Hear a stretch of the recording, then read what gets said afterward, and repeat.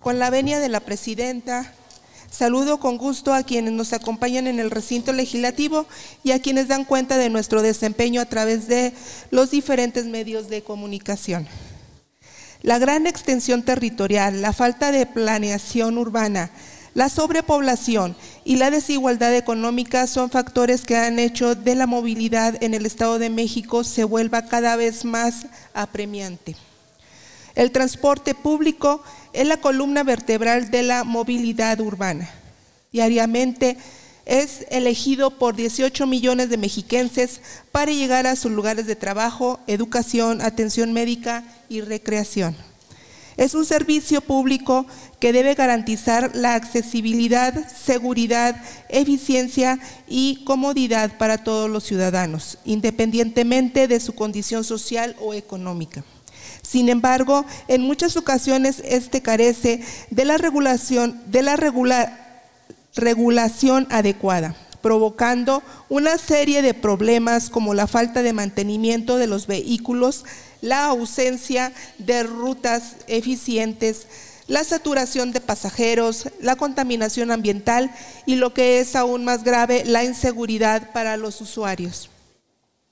En materia del sistema concesionado del transporte público, se estima que solamente 4.106 concesiones cumplen la normatividad vigente de un padrón de 168 mil, es decir, que aproximadamente el 98% de los transportistas operan de manera irregular.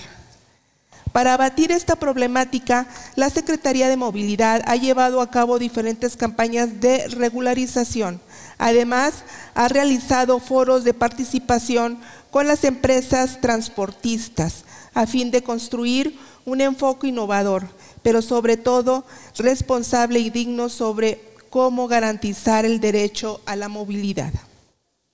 De este tenor, consideramos pertinente abrir el proceso de concesiones al escrutinio público, con la finalidad de fomentar la transparencia y asegurar que las decisiones se tomen en beneficio de los mexiquenses y no de intereses particulares. La participación de múltiples actores en el proceso de concesiones garantiza una competencia justa y la selección de, de operadores que estén comprometidos con estándares de calidad, seguridad y servicio al usuario. Por ello, en voz del Grupo Parlamentario del Partido Verde Ecologista de México, tengo a bien presentar esta iniciativa con proyecto de decreto por el que se reforma el artículo 7.17 del Código Administrativo del Estado de México, con la finalidad de llevar a cabo las concesiones de transporte público, a través de un concurso público abierto y transparente, priorizando aquellas personas físicas o morales que ofrezcan un servicio seguro de calidad y eficiente con unidades limpias, cómodas y sostenibles, así como con personal capacitado y con buen trato hacia los ciudadanos. Lo anterior con la finalidad de construir un sistema de transporte más justo, eficiente y orientado al servicio y que sea un verdadero motor de progreso para todos. Es cuanto. Muchas gracias por su atención.